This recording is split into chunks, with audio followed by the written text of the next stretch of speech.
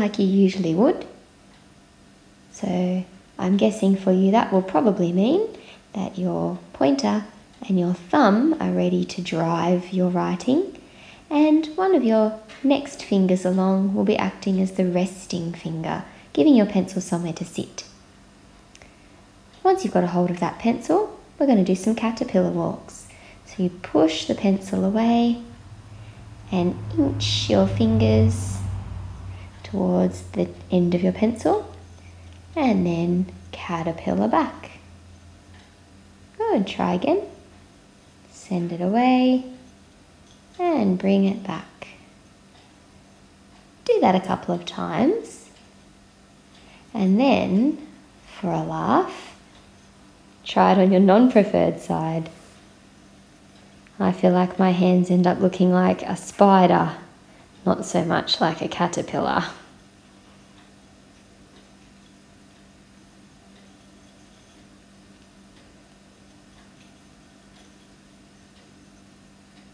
That's it.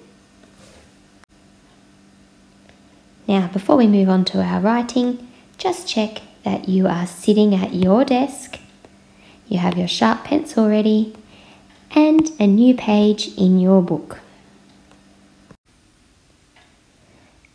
This week we're going to keep concentrating on our anti-clockwise pointy oval shape by focusing on how to efficiently write a lowercase g and q. Just like last week, we're looking for about half a page of neat handwriting letters using the lines to stay a consistent size, and really focus today on making sure that your pencil is moving the same direction as the one on the screen.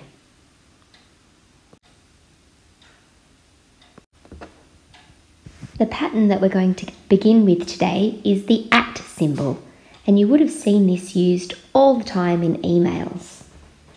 So I'm using the dotted lines I'm going to start not quite in the center of where I plan my symbol to be, but at the top.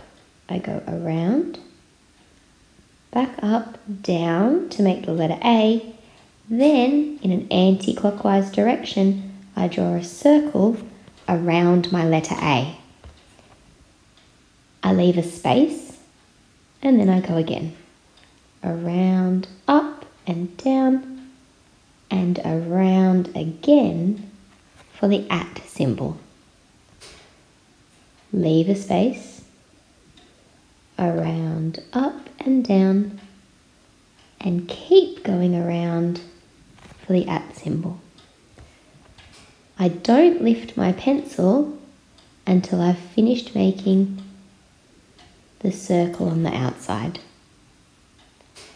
Keep going with the rest of the row yourself.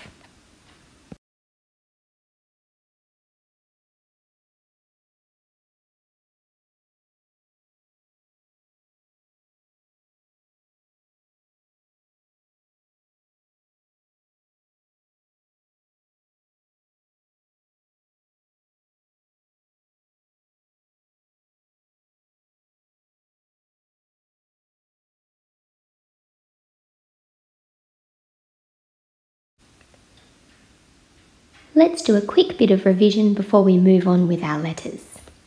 I've been talking lots about anti-clockwise letters. So here's a picture of my clock to help us understand what that is.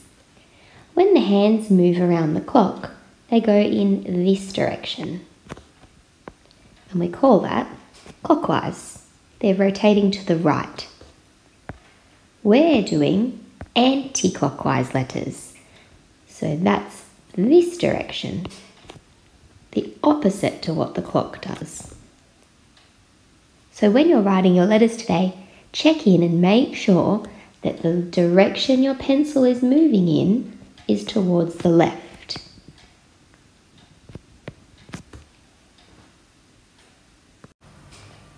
Let's think back to the slightly pointy oval that we did last week. Now I'm not starting right at the top. I'm starting a little bit over to the side. From there, let me choose a different colour for you. From there, I'm going around, up to the beginning and back down to make my letter A. And we built on with that around right up to the next line above it and down to draw our letter D. Now you might have done some thinking about this and realised that this slightly pointy oval actually happens in some other letters too. And today we're going to do two of those, the letter G and the letter Q. These are both tail letters because they, instead of going up tall like the letter D, they drop down underneath your line. Let's have a look. I'm going to start in exactly the same place, going around for my slightly pointy oval, up. I'm going to go down and keep going down to finish with a loop at the bottom. Have another look around, up, right down, and loop at the bottom. Q is a little bit different again. I'm going to start around, back up, down to the bottom, and flick. I'll do one more, anti-clockwise around, up to the beginning, straight down and flick. And for each of these letters, my pencil doesn't come off the page until I've finished the letter. We're going to launch straight in now to our letter G's. Let's just take a moment to check that we're going to be writing them in the right place. The lines that we're using are these dotted ones here. The other line that you'll need to concentrate on is this solid line at the bottom. That's where your tail will finish. Let's have a look. So I'm going to start a little off centre, anti-clockwise around, up to the top, down to the bottom and loop. Check in with your letters. If they're going right up here or overhanging the line, that's not what we're looking for. Try again. You don't need to rub it out. Just keep trying. Start back on that dotted line. Go around, back up. Touch your pencil on that solid line at the bottom and finish off the loop. Keep going with that row.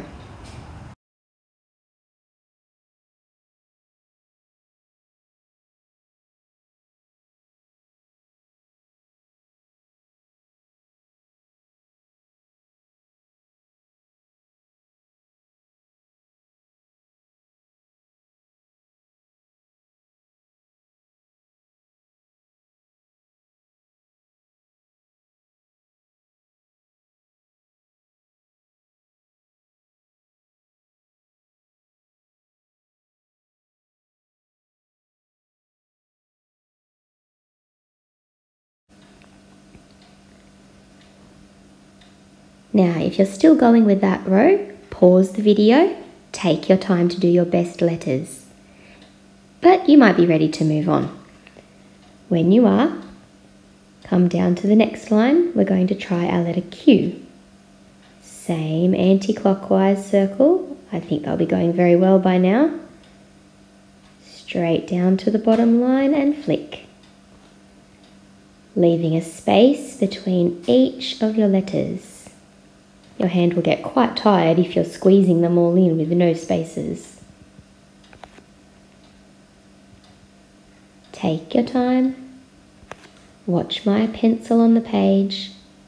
Make sure that your pencil is going in the same direction. That's how you can be sure that you're making these letters in the most efficient way.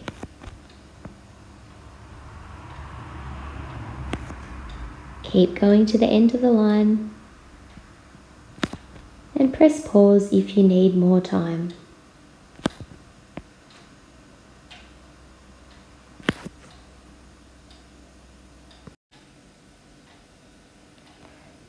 Next we're going to try a word which uses the letter G and A and D from our last video. So your next line will be the word garden. Begin with our letter G. Same shape for our letter A. Move on to a new letter, the letter R. We'll do that in a future video. Back to our anti-clockwise shape, up to that top line and finish for our letter D.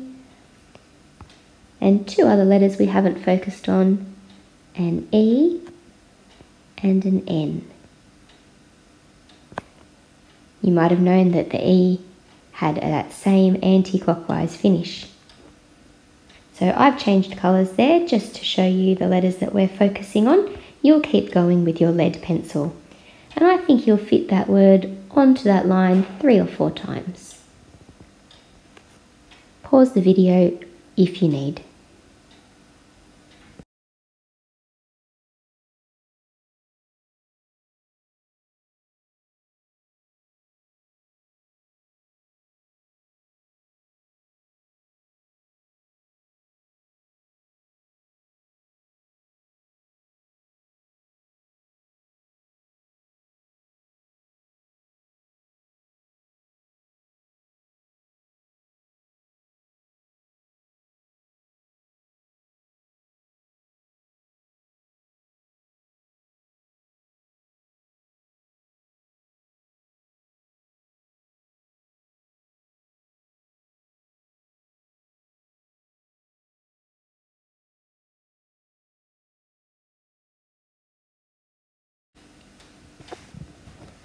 Now here's a little reminder for anyone who might be doing this from stage two or higher, is that you can do your exit flicks with these letters.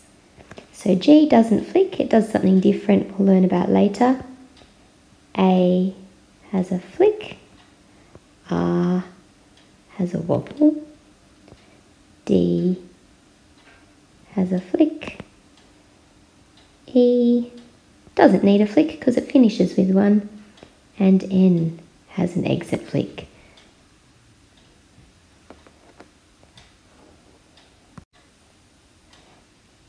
Now the last thing for us to do is to take a different coloured pencil, have a look across your letters and see which ones you're going to give a tick to.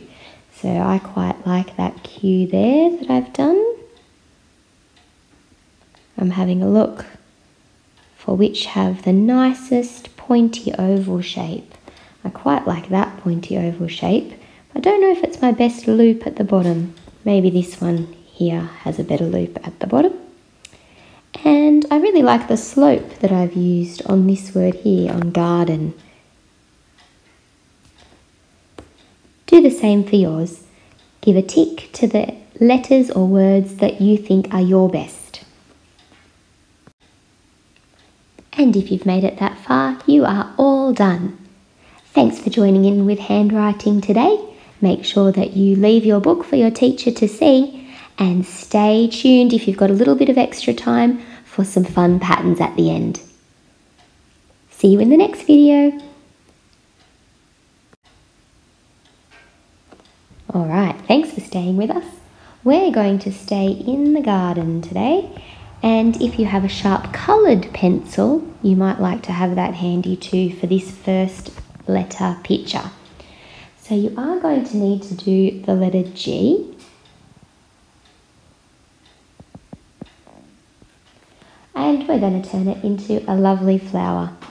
So imagining that the anti-clockwise pointy oval is the centre of your flower, let's add some petals and my petals are also going in an anti-clockwise direction. And at the bottom, you might like to add some leaves. And if you have room, give it a smile. Our next letter picture is for the letter Q. And I'm sure you'll guess why in a minute. Once you've formed your lovely letter Q, we're going to add a little beak and an eye looking forwards to make a duck. Quack, quack, and have a great week.